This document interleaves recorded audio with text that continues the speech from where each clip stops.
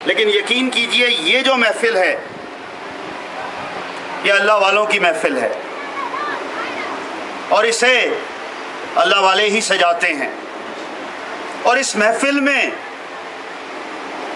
अल्लाह और अल्लाह के रसूल के प्यारे ही आते हैं। तो मेरे लिए, हम सब के लिए ये बायस इज़्ज़त है कि हम अपना वक्त इस महफिल में दे रहे हैं।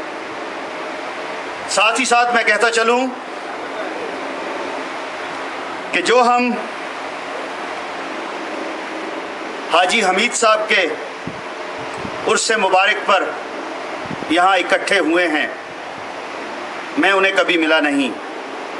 लेकिन यकीन कीजिएगा, मुझे कम अज़ कम पूरा यकीन है कि वो भी इस महफिल में इस वक्त मौजूद हैं। और यही मेरे बुज़ुर्गों ने मुझे बताया है कि जो वक्त के वली होते हैं, वो हमेशा हर जगह मौजूद होते हैं। और उस बात का जो वजह है, अभी ज़िक्र हुआ, हमारे दोस्त जहूर साहब ने बताया कि हाजी साहब ने अपनी ज़िंदगी में जलाली तबीयत पाई।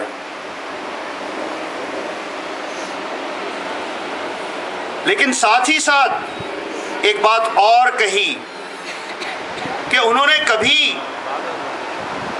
किसी रंग व नस्ल के, किसी मज़हब के मानने वाले को, कोई ज़बान बोलने वाले को कभी उसमें कोई तफरका नहीं किया। किसी को छोटा या बड़ा, अपना या पराया नहीं माना।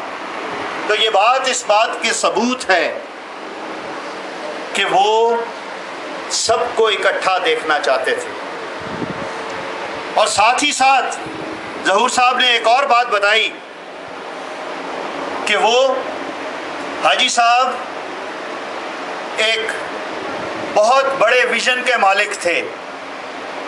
आने वाले वक्त को देख सकते थे। आपने फरमाया कि एक वक्त आएगा कि गरीब पाकिस्तानियों का पैसा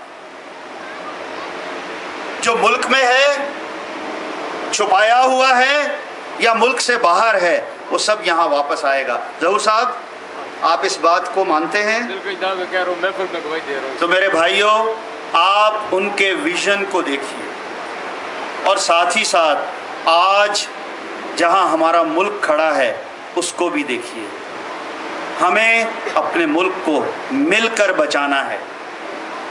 आने वाले हमारी नस्लों के लिए अपने मुल्क को कायम दायम रखना है।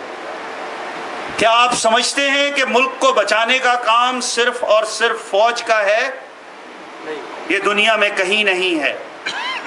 मुझे फ़ख्र है अपनी फ़ौज पर कि जब जब हमारे मुल्क में किसी तरह का कोई बहरान आया, हमारी फ़ौज हमेशा शाना बशाना खड़ी हुई। लेकिन हमने क्या किया? आज मेरे दोस्तों, मेरे बुज़ुर्गों, मेरे भाइयों, वक्त आन पहुँचा है। हम सबको आगे होना पड़ेगा। अपनी ज़ात में जो कुछ हम कर सकते हैं, हमें कहना पड़ेगा। सरदार साहब, अभी आपने फरमाया, दुआ की। सरदार साहब, अभी आपने भी अपनी तकरीर में कहा मेरे भाइयों, मैं ये कहता चलूँ कि हमें ये जो कहा जाता है कि आज़ाद कश्मीर पाकिस्तान बनेगा। मैं ये कहूँगा कि जिस दिन पाकिस्तान बना था, उसी दिन से आज़ाद कश्मीर पाकिस्तान है। ये अलहदा बात है कि हमें दुनिया को ये मनवाना पड़ेगा। ज़रूरत सिर्फ़ इस चीज़ की है उसके टुकड़े ज़रूर किए गए आज़ाद कश्मीर बनाकर और मकबूजा कश्मीर बनाकर। लेकिन ये पाकिस्तान है। और हम जब ये कहते हैं कि हिंदो पाक में, इंडिया और पाकिस्तान में तमाम बुज़ुर्ग दुआ करते हैं तो ये कैसे मुमकिन है? अल्लाह ताला ने फरमाया है कि हर चीज़ का एक वक्त मुकर किया गया है।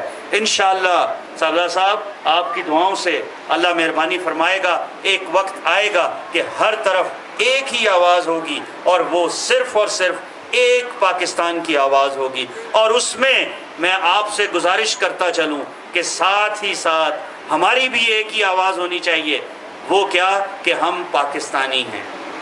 यकीन कीजिए, जब हम